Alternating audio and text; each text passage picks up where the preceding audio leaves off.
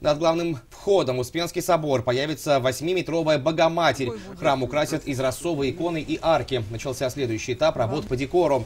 Летом установили 1300 изразцов по периметру и на центральном барабане храма.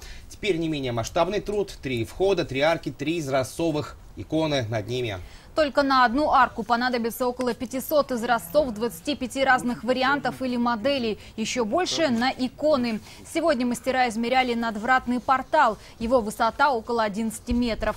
Таких изразцовых икон еще никто не делал. Ярославский керамист-реставратор Евгений Тарабин станет первопроходцем. Изразцы на арках должны появиться к следующему лету. А все работы, возможно, завершат к 28 августа, к престольному празднику собора Успению Пресвятой Богородицы. Это будет барельеф. Все равно, в любом случае, не плоский изразцы. Барельеф. И самое главное, должен быть образ.